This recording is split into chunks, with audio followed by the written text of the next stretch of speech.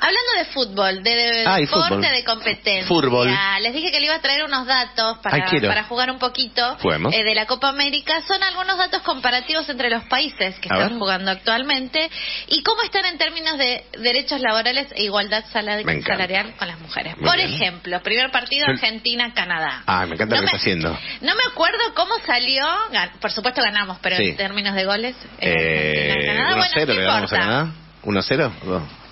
Dos. Ahí me fijo. Ahora nos fijamos. Bueno, lo tengo aquí en la- nosotros le en ganamos en mi mano lo tengo. futbolísticamente, pero vamos a ver cómo estamos en, en términos de derechos. Por ejemplo, ¿cuál es la tasa de participación de mujeres en la fuerza laboral argentina? El 59%. Es decir, que, claro, el 59% de las mujeres tienen participación en la fuerza laboral.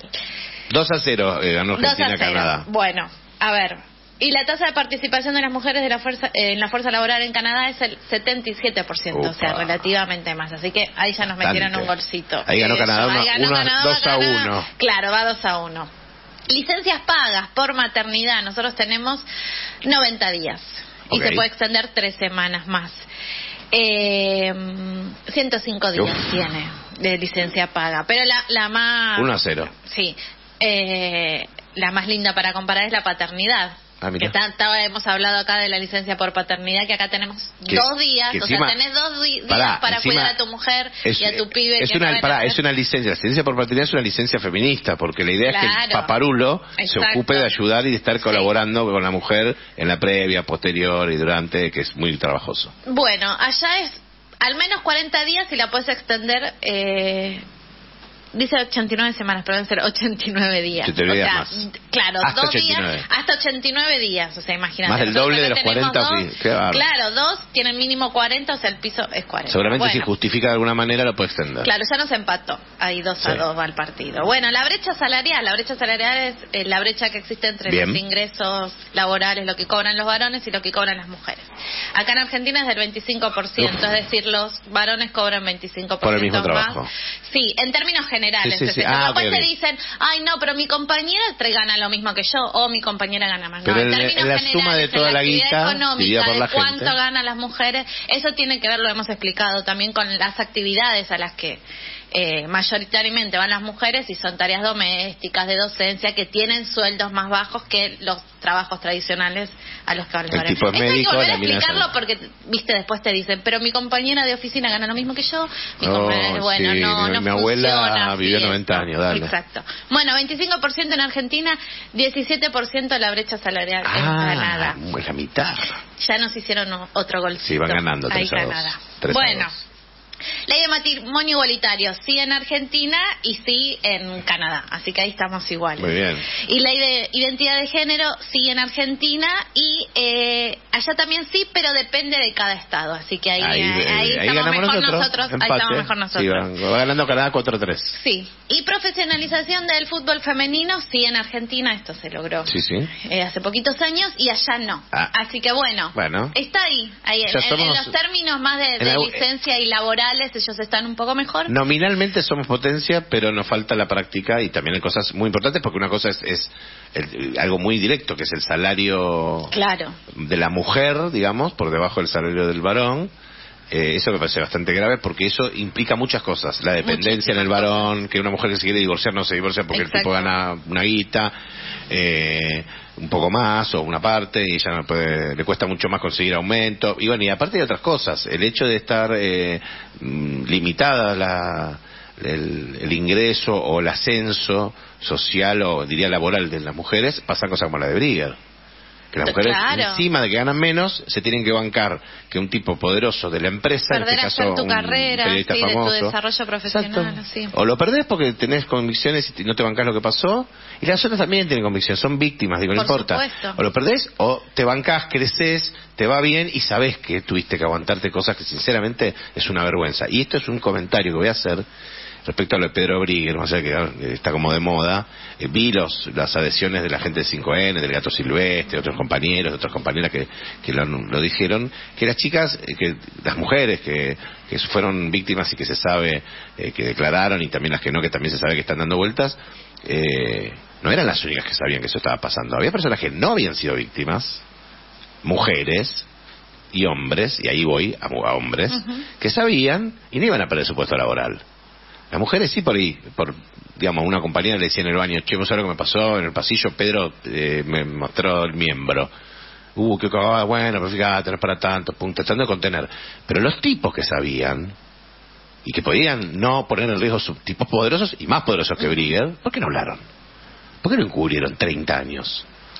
Sí, totalmente. Y también hay detrás una normalización de esto. Ah, bueno, pero viste que él es así. ¿Viste cómo es el no enano? nada, el enano Es así, pero él es, es, así. es un jodón bárbaro. No, ¿Qué hizo? No quiero sobreanalizar el, el caso Brigger, sí, como un- quizás una reflexión que un poco me pasa también con el caso de Fernando Espinosa, que son personajes que están en el ámbito de, nuestra fuerza, que vos decís, bueno, son compañeros que eh, entendieron la causa, o al menos discursivamente, que están formados en política, que están formados en una fuerza que es compañera y que entiende de la igualdad y del, del trato. Entonces, todo eso muy lindo, ¿no? Pero como que veo que ahora está llegando el momento en donde estas personas eh, les pasa, porque la verdad que esto lo decimos siempre, esto trasciende eh, edades, clases sociales, Sí, sí, eh, fuerza sí, política, digamos, está- de ese lugar no es sorpresivo. Pero digo ahora, si esta persona, tanto como Fernando Espinosa, que todavía no hizo un gesto de nada, o sea, que está avanzando en la justicia, pero él es como, bueno, que avance la justicia, la verdad que para mí podría estar haciendo mucho más.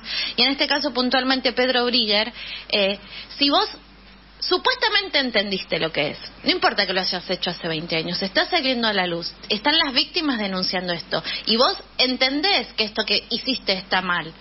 Primero, pedís ayuda si no sabes cómo abordarlo. Y segundo, hace algo. Claro. Tenés todo el poder para hacer algo Sí. y realmente no vas a reparar, pero sí puede ser muy importante que él, un personaje tan mediático, que, que si realmente él se equivocó, se la mandó, tiene algún Tiene tipo de problema. enfermedad o tiene algún problema, bueno, listo, te haces cargo y decís, bueno, ¿qué puedo hacer yo? Porque él tiene el poder para hacer muchas cosas. Por ejemplo, empezar por pedirle disculpas a todas una por, Por una. empezar, pedir disculpas. Nunca más. Este, Puede yo. hacer muchísimas cosas. Puede, eh, en los medios que él está, eh, eh, llamar a las compañeras que quieran trabajar, hacer carrera. Digo, toda esa gente, si yo dejé sin eh, posibilidades de carrera, de crecimiento en este ámbito donde yo soy una eminencia, porque realmente Sí, lo sí, es. claro. Bueno, ponete a hacer algo para reivindicar y de alguna forma reparar a ellas y al resto, digamos, ¿no? Porque esto tiene que ser una reparación colectiva. Totalmente. Eso es lo que yo espero de este tipo de personas. Ay, que ojalá. Pero no pasa y todo, y, y es como que a mí me, me, me termina cansando un poco esto de sobreanalizar todo sí, y sí, todo. No, dale, macho. Hace algo. O sea, o solo que dijiste ser y te la mandaste y que eh, eh, esto puede ser que a cualquiera le caiga un, eh, un archivo, porque la verdad que es así, digamos, así. no podemos negar porque sabemos que esto pasa en todos lados y pasó y más hace 10, 20 años. Bueno, Tal cual. tenés la, la oportunidad histórica, si se quiere, de hacer algo. Y bueno, y tenés que perder prestigio y, poder, bueno, ya lo perdiste, lamento. ya lo perdieron todas las compañeras. Terrible. Eh, nada, no bueno, como fuimos. No, me fuimos, gustó mucho. volvemos. Le voy a decir algo. Volvemos. Sí. Escuchá, me. Gustó mucho. No, pues estábamos en la Copa América. La Copa. América Ahora del, volvemos, del- pero bueno, del nos no machismo. un segundo a, Así es. a, a Brigger. Me gustó. Me gustó. No, lo que. Sí. Al forro de Brigger. sí, que venga cuando quiera. A ver, Paraná 777, esperamos. Sí. Vamos a, charlar, A. vamos a charlar un cachito. Eh, me gusta esto de, de, de- de entender que un enunciado, o un número, o un porcentaje, tiene una bajada a tierra. Por supuesto. ¿No? Entonces, una persona que gana poco, que va, va va a aguantar más abuso. Es que es como. el- es, es el herramienta, es el insumo del abusador. Totalmente. La desigualdad es el la insumo de la- desigualdad- del abusador. Así es. Bueno, viene Perú-Chile. ¿Cómo se Perú-Chile. lo imaginan? Eh, No me- eh, jugaron Perú, Perú-Chile, Perú- ¿cómo salió? Perú le gana a Chile. Perú le Sí, gana a Perú Chile. Chile empataron. Empataron. Bueno, a ver acá. Perú-Chile 0 a 0, pero no en esto. Vas a ver que gana a Perú. ver. Tasa de participación de mujeres en la fuerza laboral. No, no, creo que gane ¿no? Perú. No. Chile es muy desigual, ¿eh? No, pero Perú es Perú muy la rompe. machista. Sí, sí, ya sé. 70%. Tasa de D, perdón. Tasa de participación de mujeres en la fuerza laboral. O sea, el 70% de las mujeres eh, trabajan. Bien, Es alto. Es alto. más que en Argentina. mira. Eh, en Chile, 65. 58. ¡Po! Vamos Perú. No, Bueno, pero pará, pará. ver cuánto cobran, qué laburan. Muy bien. Punto, punto Pero yo tengo que hacer como el Felipe festejo del gol, boludo. Punto para Felipe. Vamos, gol de Perú, Muy carajo. bien, me gustó mucho ese Perú, análisis. Perú, Así que ahora Perú. voy a ir directamente al punto. Brecha Bien. salarial entre hombres y mujeres en Perú. Eh, 32. 28. Ay, más ay, que ay. Argentina. Uf. ¿Y en Chile? ¿Esto era 28? Sí, 23. 22. Bien. O sea, Gol de Chile, gol, gol, gol. Claro, quiere decir Uno a uno. que sí, trabajan más las Se las mujeres. esclavizan. Pero las esclavizan, Claro. Es como venir a trabajar, claro. Laburan todas, pero no, Claro. no ganan bien. Por peruana, pero vos sos peruano, no, no. por- No, no, sí, pero, eh, boludo. Bueno, días de licencia por maternidad, 98 días. 98. Bien. ¿Perú? Eh, Perú. Zarpado. Sí, y en Chile, 126. Eh, Muy bien, Chile. Tienes ¿eh? razón en los chetos. Sí, sí, son son Los chilotes. Eh, bueno, paternidad en Dos a Perú. uno para Chile. Nosotros teníamos dos, ¿se acuerdan, no? Dos días, sí. Dos días. No, no, paternidad. patético, Sí. Sí, sí. Y después vienen con reforma laboral para ser más patético. Pa- pa- Sí, sí, sí. Patético. Empeoremos todo. Eh, paternidad en Perú, 10 días. Flojo. Eh, pero Flojo. está mejor que Argentina. Cinco veces veces, sí. 500%. Se embarazan para no elaborar 10 días. Claro. Sí, están ahí los los gorilas. Y Chile, de Chile 40. No, 8 días. Mira qué flojo. Opa. Para mí que los chiles Empate, dos a dos. No quiere, ellos no quieren quedarse en la casa. No, cuidar el bebés. Chile, no, me, no me extienda no, la licencia. Quieren ir, a, déjame, déjame. quieren, quieren ir a la... Chileno huevón. Quieren ir a la piojera a tomar un bigoteo. Pero alguien tiene que laburar en esa casa. O sea, hay alguien que. Eh, se la embarazándose para ganar planes. Claro, ¿quién trae la ¿Quién guita nos queda? ¿Fútbol? casa? Ley de matrimonio igualitario en Perú, no. No. Ley de identidad de género, no. No. Profesionalización del fútbol femenino, Sí. Sí, Eh, eh. dos de tres. Dos uno, de tres. uno de tres. Ley de matrimonio igualitario en Chile, sí, este, en eso son más progres, como dice Tengo, tengo que borrar esa foto. Ay, una foto con Pedro Brigger tiene. No. Y Los violines se llama la foto. género, sí. Y profesionalización del fútbol femenino, sí. Bueno, esto... Chile sí, un poco mejor sí, que Perú, sí, ganó el de- partido. Ganó, ganó, Ganó. ganó. Chile, ganó Chile. Eh, tiene- Uruguay-Brasil tengo, ahora ese está lindo. Los ¿Cómo uruguayos, pará, convengamos A a ver, los dale. uruguayos lavan dinero. Sí, Tienen más espacio para hacer progres, más plata. sí. Me parece que gana Uruguay. Vamos, tírame el primer tiro. Penal. Penal. Tasa de participación de mujeres en la fuerza laboral. De, eh, Brasil, Uruguay. De Uruguay, tasa Sí. 75. 70 tiene. 70. Y Brasil un poquito menos. Sese- Pero es mejor, en 61. este caso eso es raro. No, es más, cuanta más es que las mujeres pueden acceder a, a Al trabajar. trabajo, pero también po- a partir de cierto porcentaje es malo. Como claro, que hay que, hay todas. que verlo, claro. Claro, hay, una brecha, hay que buscar el- claro, ahí tienen la doble jornada laboral 60 al y palo, pico es claro. poco, entonces 78 Claro, es mucho. algo está pasando. Bueno, y brecha salarial hay un empate. Epa, Eh, está bastante bien la brecha salarial en ambos países, el 19%.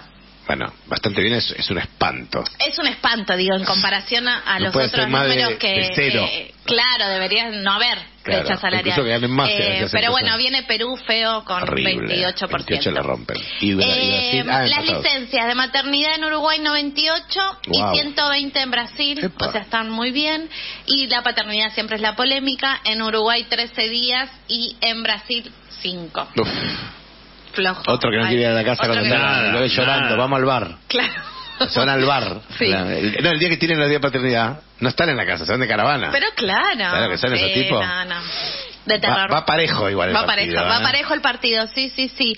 Eh, y acá, bueno, Leyes. es un equilibrio. Ley de matrimonio igualitario en Uruguay, sí. Sí. En Brasil también. Ley de identidad de género, sí, en Uruguay. Y no. No Brasil, naciste no en nene, sos nene. Profesionalización del fútbol. moleque a moleque. Sí. Profesionalización del fútbol femenino. No en Uruguay. No, en Uruguay. Y sí, Sí, en Brasil. 3 a 2 Uruguay. Sí. Sí, sí, sí. O sea, Uruguay un poquito... Ganó Uruguay por penales. Cagando. El partido de Brasil. Ojo con esto, ¿eh? Bueno, acá Juega Brasil-Uruguay ahora, ojo, Ahora ¿eh? Brasil-Uruguay. sí. Ganó Brasil por penales. Este partido es A ver. México-Jamaica. Welcome to Jamaica, Ricky. Una que esperaría de Jamaica. Sí, todos, todos. Te digo la verdad, yo que pienso, son Rastafari, son más conservadores que la mierda. ¿Viste? ¿Viste? Son En el ultra pie de la conservadores. cuestión, Lo sí. peor de la religión, no boludo. No, no, es una Lo peor, lo peor. Bueno, eh, igual esto de México, tasa de participación de mujeres en la fuerza laboral. 62. Re machista. 50%. La mitad de las minas no Una de consiguen las- laburo. La mitad de la mina no laburan. Uy, la con. Jamaica 64. Zafa porque el otro es un muerto. Porque el otro es un Claro. Está- 1 a 0 está muy Jamaica. bajo, está muy bajo. Eh, licenciada por maternidad, 84 días en México y lo mismo en Jamaica. Empate, 1 a 0 Jamaica. 4 días. Mira. Paternidad, 5 días en México No hay en Jamaica. No hay, No hay en Jamaica, papá. No hay no licencia hay. por paternidad en Jamaica. Uno a uno. No hay. Te la adiviné, te la adiviné. Pues son re gorila No, los no, jamaiquinos, no boludo, ultra religiosos. Le chupo un huevo. Uno a bueno, uno. Uno a uno. brecha salarial. O México. 18% dicen México. O sea, tienen poca participación Pero en la fuerza laboral, pero están mejor. más parejos. ¿Y en Jamaica? 30. No hay datos. No hay datos. Gol de México. No hay Gol de 2 a 1. Y sí, y sí. Eh, ley de matrimonio igualitario en México sí, 3 a 1. en Jamaica No, 3 a 1. Ley de identidad de género, eh, México sí, pero depende de cada estado. Pero hay un sí. Pero hay un sí. No en Jamaica. No hay en Jamaica. 4 a 1, paliza. Sí, paliza. Profesional- Profesionalización del fútbol femenino en México sí. Sí, en Jamaica no. No. 5 a 1, paliza Una de México a goleada. Jamaica. Por eso México es México y Jamaica es Jamaica. Sí. Em, Claro, exactamente. Guau, guau, guau, guau. No, bueno, pero no. ¿Es así? Es así. Bueno, Bueno, y el último. Vamos. Panamá-Colombia. Uh, qué difícil. Está difícil ese. Eh, Panamá es un país muy desigual, con un alto PBI. Vamos a tirar siempre algún dato para pensar Dale. si, tiene lógica. Dale. Muy desigual, o sea que mucha gente es muy pobre y poca gente es demasiado rica. El, el- creo que es el uno de los más altos de América. Sí. Así que me imagino una Es desigualdad muy importante. desigual, es muy desigual. el otro es eh, Colombia. El otro es Mm, Colombia. bueno, vamos a ver. Es tiene un dato que va a sorprender. Vamos. Tasa de participación de las mujeres en la fuerza laboral, 54%. En Flojo. Panamá es bajo. Flojo. Y en Colombia, 59, un poquito Uf, más.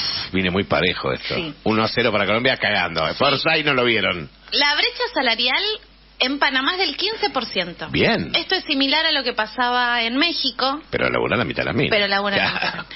Y en Colombia, el 6%. Golazo de. Colombia a- de afuera del área Sí. al ángulo. Voy a 2 a, hacerle 2 un a doble 0. clic después a lo que está pasando Ah. en Colombia después, para otro programa. 2 a ¿no? 0. Pero a mí me gustaría saber También qué pasa se ahí. conlleva con el fútbol. 2 Sí. a 0 Colombia, Panamá, vamos. Bueno, licencia por maternidad en Panamá, 98 días. Esto Normal. es como bastante parejo. Paternidad, 3. Ah. Y en Colombia maternidad 126, bien. Gol. Y paternidad 5, es como... 2 a bueno, 1 hasta México. ahí. No, eh, Colombia, Colombia. Colombia, 2 a 1. Colombia, Panamá, vamos. bueno. Panamá, ley de matrimonio igualitario, no. No. Eh, ley de identidad de género, no. No. Eh, Colombia, ley de matrimonio igualitario sí, identidad de género no. 3 a 1 para Colombia.